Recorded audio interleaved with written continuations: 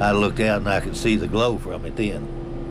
And uh, it stayed that way, glowed all night long. Phil Long says he's lived in this valley for 40 years and has never seen anything like it. It's just a lot of smoke. You can see the smoke, you know, flames coming up from where it's uh, so much fire underneath of it.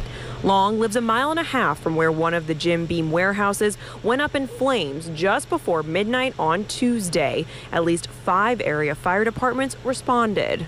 Coming and going, I'm sure there were in excess of 60 firefighters on the scene at one time or another.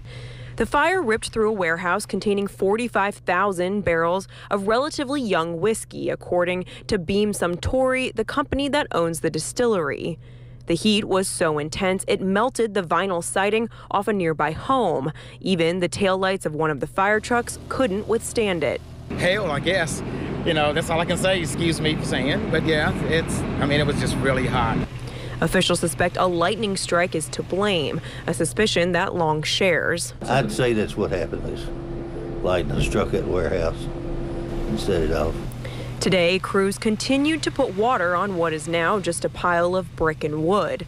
In a statement, Beam Suntory said the company is grateful no one was hurt and that it has a comprehensive safety program that includes regular inspections and rigorous protocols. Long says the distillery warehouses have long been a piece of this community. I hate seeing anything happen to them.